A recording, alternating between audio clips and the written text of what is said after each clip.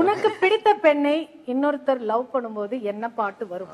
போனால். கேளுங்க பாப்போம். உன் சமையலறையில் நான் உப்பா சக்கரையா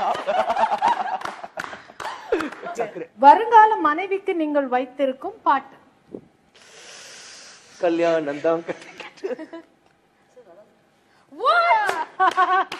Amazing. படிங்க என்ன பாட்டு? கல்யாணம் தான் கட்டிக்கிட்டு ஓடி weird. Every song. போய் கல்யாணம் தான் Like, shall we get married?